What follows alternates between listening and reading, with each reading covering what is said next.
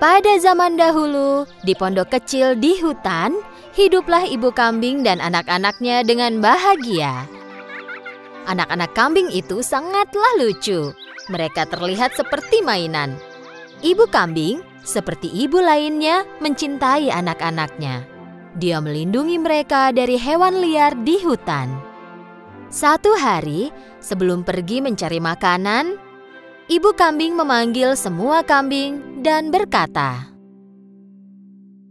Anak-anakku sayang, aku akan pergi ke hutan. Jangan bukakan pintu untuk siapa pun. Jika serigala masuk ke rumah, dia akan memakan kita semua hidup-hidup. Dia sangat licik, dia akan menyamar menjadi apa pun dan mencoba menipu kalian. Jadi bagaimana kami akan mengenalinya? Serigala bersuara serak dan aku punya suara yang lembut dan indah. Jadi kau bisa segera mengenalinya dari suaranya yang berat dan serak. Saat akan pergi, ibu kambing ingat satu hal. Dia berbalik ke anak-anaknya. Ah, satu lagi. Kaki serigala berwarna hitam dan aku putih. Kalian juga bisa mengenalinya dari kakinya. Jangan khawatir, Bu.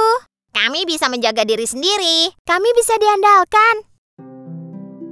Ibu kambing mencium anak-anaknya satu persatu, lalu pergi ke hutan.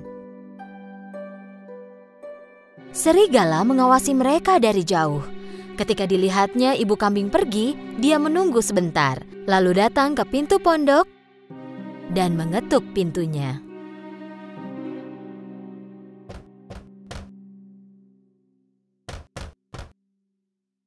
Siapa itu? Anak-anak, buka pintunya. Ibumu di sini. Aku membawakan makanan enak untuk kalian. Tetapi anak-anak kambing langsung mengenali suara serak serigala. Tanpa membuka pintunya, mereka berteriak. Kau bukan ibu kami. Suara ibu kami manis dan lebih indah. Kau adalah serigala, kau tak bisa menipu kami. Serigala sangat marah karena tak bisa menipu anak-anak kambing. Jadi dia pergi ke toko, membeli kapur besar dan memakannya. Kini suaranya terdengar jadi lebih lembut. Lalu dia kembali ke pondok dan mengetuk pintu lagi. Kali ini, serigala mulai berbicara dengan suara lembut.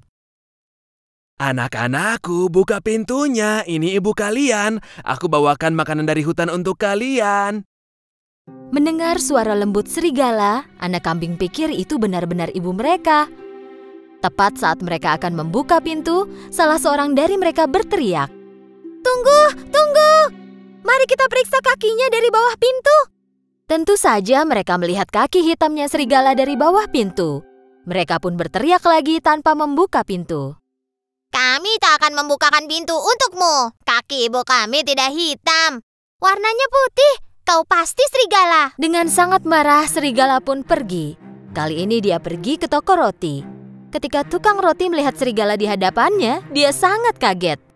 Aku sekarang vegetarian, jadi aku hanya makan pasta. Boleh ku minta tepung? Serigala keluar dari toko roti dengan sekantung tepung. Saat mendekati pondok, dia membuka kantung dan menuang seluruh tepung ke kakinya. Sekarang kakinya putih semua. Serigala licik itu mengetuk pintu pondok untuk ketiga kalinya. Anak-anakku, buka pintunya. Ini ibu kalian. Aku membawakan makanan untuk kalian dari hutan. Tunjukkan dulu kakimu, jadi kami tahu kalau kau ibu kami. Serigala menunjukkan kakinya yang dilumuri tepung. Saat anak-anak kambing melihat kakinya, mereka percaya bahwa itu ibu mereka, lalu membukakan pintu. Dan apa yang mereka lihat? Serigala berdiri tepat di hadapan mereka. Anak kambing tidak tahu harus berbuat apa. Mereka mulai berlarian, berteriak. Tidak usah lari, akan kutangkap kalian semua. Salah satu anak kambing sembunyi di kolong meja, yang kedua masuk ke kolong tempat tidur. Yang ketiga pergi ke cerobong asap. Yang keempat sembunyi di dapur. Yang kelima masuk ke dalam lemari. Yang keenam sembunyi di balik gorden. Dan anak kambing ketujuh masuk ke dalam jam raksasa di dinding. Tapi serigala licik sangatlah cepat. Dan satu persatu dia menangkap semua anak kambing. Lari, lari. Kemari, jangan lari. Akan kutangkap kalian semua. Stop.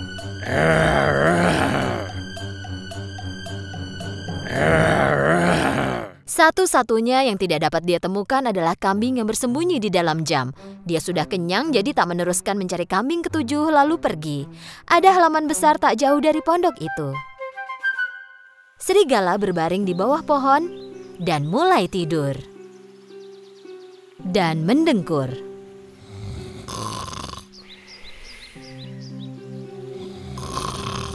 Tak lama kemudian, ibu kambing pulang. Saat dia lihat pintu terbuka, dia tahu ada hal buruk terjadi dan mulai berteriak.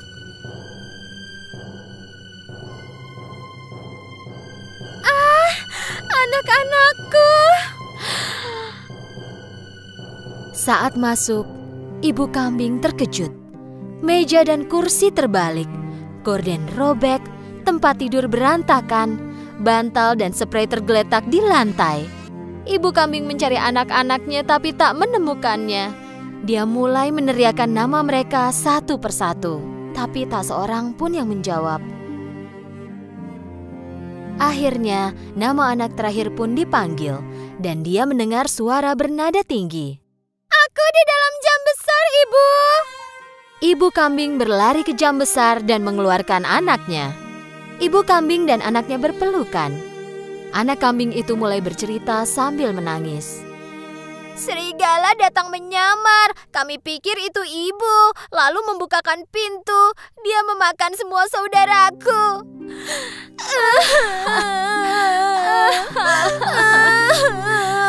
Anak-anakku. Ibu kambing sangat marah. Dia menangisi anak-anaknya. Dengan satu anak yang tersisa, dia berjalan keluar dan menuju ke halaman.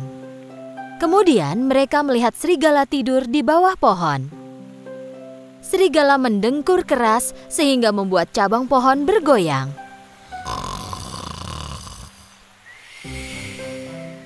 Ibu kambing mengamati serigala. Dia sadar bahwa di dalam perut serigala ada sesuatu yang bergerak. Ya ampun, apa itu anak-anakku ada di dalam perutnya dan mereka masih hidup? Ibu kambing menyusun rencana dan berkata ke anaknya, Larilah ke rumah dan bawakan jarum, benang, dan gunting. Saat kambing kecil berlari pulang, ibu kambing mengumpulkan enam batu besar dari tanah. Kemudian kambing kecil kembali dengan jarum, benang, dan gunting besar. Ibu kambing menggunting perut serigala. Dia segera melihat anak-anaknya. Lalu yang lain pun kelihatan satu persatu. Mereka semua sehat. Ibu kambing tak bisa menahan diri karena gembira. Semua anak kambing memeluk ibu mereka dengan sukacita. Ibu, ibu, kami mencintai ibu. ibu. Kami mencintaimu. Yeay. Uh, kami mencintaimu. Mereka semua sangat senang. Ah, anak-anakku, kalian selamat. Ibu kambing menaruh batu yang dia kumpulkan ke dalam perut serigala dengan hati-hati. Lalu menjahit perut serigala dengan jarum dan benang. Serigala tertidur nyenyak sehingga tidak merasakan apa-apa. Serigala tidak bergerak. Ibu kambing dan anak-anaknya segera kabur. Ketika serigala bangun, dia berdiri. Perutnya sakit sekali. Dia pikir mungkin karena dia makan terlalu banyak kambing. Karena perutnya penuh batu, dia jadi sangat haus. Dia menuju ke sungai untuk minum air. Tapi saat berjalan, batu-batu di perutnya saling berbenturan. Perutku terasa berat dan penuh. Seolah-olah semua kambing itu berubah jadi batu. Serigala ingin berlutut dan minum air. Karena batunya sangat berat, dia hilang keseimbangan dan terjatuh ke air. Ah, tolong, tolong, aku tenggelam, tolong. Berteriak minta tolong, tapi tak ada yang menolongnya. Serigala tak sanggup menahan berat batu itu lagi dan tenggelam. Saat melihat apa yang terjadi, ibu kambing dan anak-anaknya berlari ke sungai.